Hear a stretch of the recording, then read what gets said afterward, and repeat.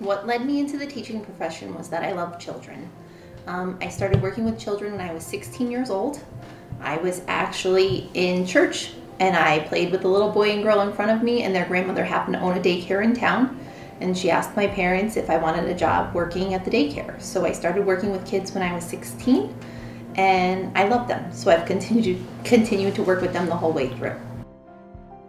I've been working at Eli Whitney Elementary School for the past 17 years.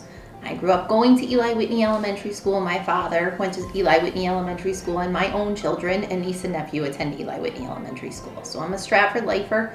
I've been teaching here for 17 years. I taught grades two and three, and then I went back to grade two about six years ago. So I've been in second grade for the last six years and I absolutely love it. What I love about teaching is the children that I get to spend my time with. Each year we get to create a family in our classroom and I am very blessed to have 20 little members of my family each and every day. I also love that I get to work in a community with so many wonderful people. Um, Eli Whitney has a wonderful staff and we all work together and work really hard to work in the best interest of our kids. I love this community and I love the kids that I get to spend the day with. So the thing that is, excites me most about coming to work every day is that you never know what you are going to encompass throughout the day. So each day is different. With 20 little humans in your room, you never know exactly where the day is going to bring you and what you're going to end up doing. Um, you could plan a lesson to go a certain way and then something comes up and you have a different teachable moment that you end up going on with. I love coming to work because every day is different. We're so proud to have Mrs. Maida as part of the Eli Whitney and Stratford communities. Uh, as a graduate of Stratford Public Schools, she's exactly what we hope and dream that all of our students can become.